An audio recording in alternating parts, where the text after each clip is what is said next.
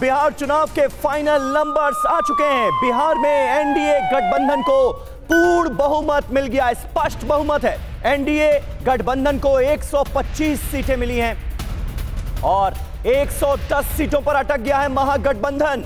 तेजस्वी यादव की उम्मीदें धराशायी हो गईं। चिराग की पार्टी को मिली सिर्फ़ एक सीट। जिन्होंने एकला चलो रो रे की नीति पर काम किया था। देर रात तक वोटों की गिनती हुई और उसके बाद 125 सीटें एनडीए गठबंधन के खाते में गईं और महागठबंधन 110 पर आकर अटक गया। एलजेपी, जिसे बीजेपी ने वोट कटवा पार्टी कहा था, और वो इस बार एनडीए से अलग, अकेले किस्मत आजमाती नज़र आई थी। चिराग पासवान का यह फैसला था।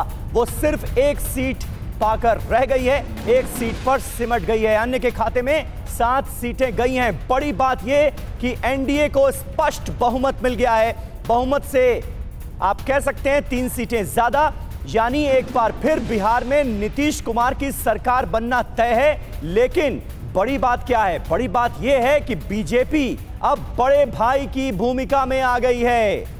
बीजेपी के खाते में जेडीयू से ज़्यादा सीटें गई हैं और बीजेपी के अंदर खाने, ये आवाज़ उठने लगी है कि जब सीटें हमारी ज़्यादा हैं तो मुख्यमंत्री क्यों ना बीजेपी का ही हो।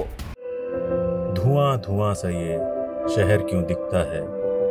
सुना है बाज़ार में धुएँ का सामान बिकता है। ये दिवाली सिर्फ़ दिए वाली।